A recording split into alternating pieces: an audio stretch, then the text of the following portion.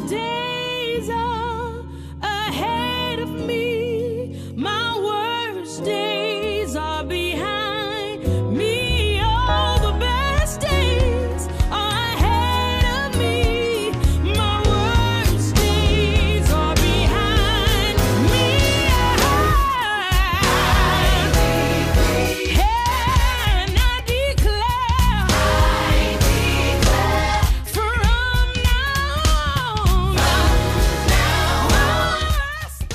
Timeless Beauty reminded me of Lena Horne. October 11th, 1932, in a little town called Cuero, Texas, is where she was born.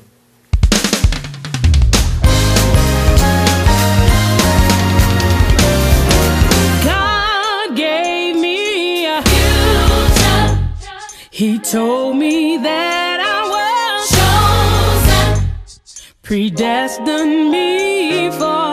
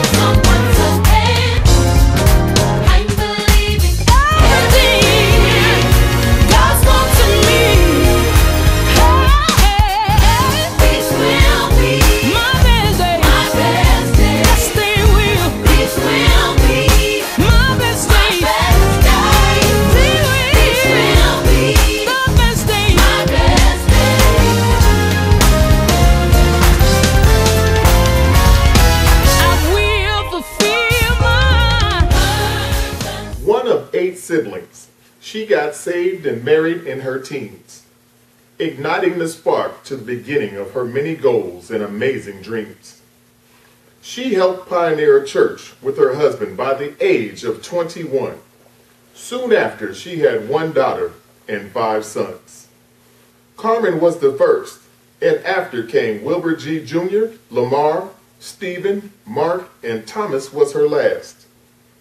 Married for 52 years, sadly, her husband and life mate, Bishop Wilbert Gale Hardy Sr., passed. Take me to the king. I don't have much to bring. My heart's torn in pieces.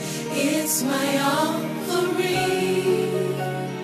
Take me to the king. Truth is, I'm tired. Options are few. I'm trying to pray, but where are you? I'm all churched out, hurt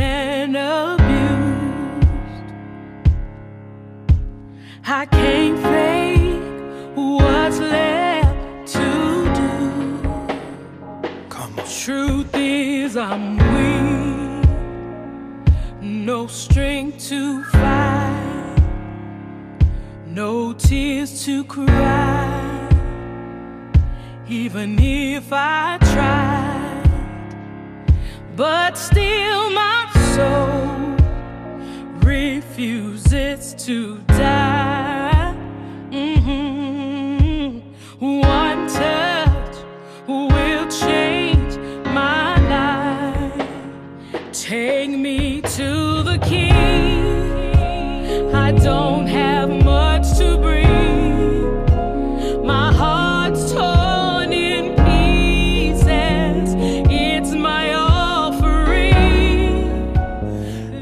Mentioned this lady is the true definition of elegant class? She is the proud superior granny monarch of 33 grandkids and 29 great grands.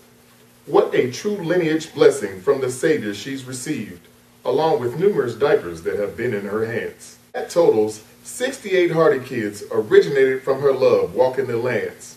And yet, she still has room for a foster son named Anthony, who is an honorary 69th member of that hardy kid clan. Always dreaming about new business ventures, she is a lover of God, her family, traveling, and cooking. In 1984, she started her infamous bakery business from her home with amazing smells that could guide your steps to her without you even looking. Let me make this praise crystal like clear. Need your full spiritual focus from the comfy leather seats on stage all the way to the baby section in the rear. You know this angelic superwoman is bad because she ain't even my mama and writing about her life's blessings brought to my eyes some tears. These words I speak exude sincere, not just recognized as a pillar to her family and the Portland community, but she brought the humbleness of her legacy to the overall atmosphere. She's touched and inspired several lives. Many of you are up in here.